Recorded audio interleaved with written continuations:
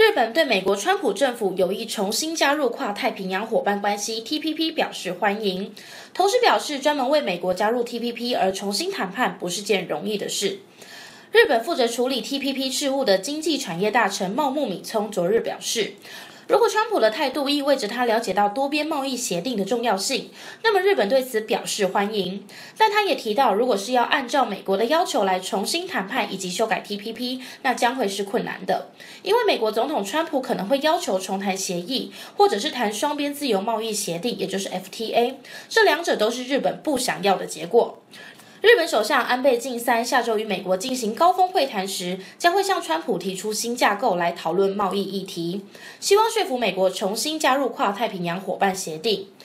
日本经济大臣茂木敏聪渴望领军日本代表团，而美方则由贸易代表赖海哲来主导。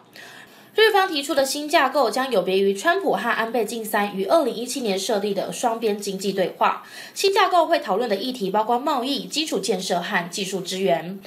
新闻实时报记者陈玉山整理报道。